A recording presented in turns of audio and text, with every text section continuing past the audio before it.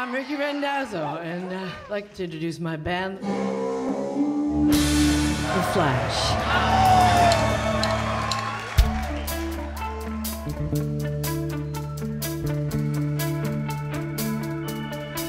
Like a cold one on a summer's day.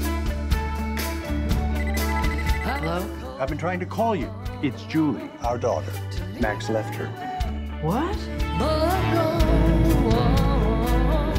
You brought your guitar. Yeah, just the one. Whoa, Mom, you're here. It's like the 80s all over again. Hope Maureen doesn't mind that I'm here. Oh, hi. We are really concerned about Julie. What happened? Max came home, and told me that he was in love with a girl named Nicole. She's gonna be all right. She's always been a fighter. Well, she's had to be. Here she comes. I'll have all my kids in one room. Mom, why aren't you wearing your engagement ring? You two are engaged? Who wants some appetizers? We're practically eloping, Mom. Why don't you be honest, Josh, and just tell Mom that you don't want her at the wedding? Sir, would you like another martini? Yeah, keep them coming. Day after day, I'm more confused. I've missed so much. There was a hole in this family, and I filled it. They're all grown up now. You think because you screwed up once you don't get a second chance? That I hate to lose. Hey, Why did you walk out on my daughter? our daughter. Julie hates you.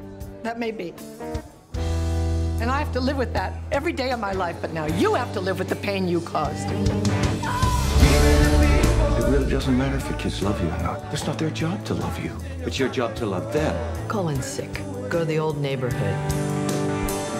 Sometimes a girl just needs her mother. Lots of things are gonna change in your life. Someday you're gonna wake up and find a gray hair. And I don't mean on your head.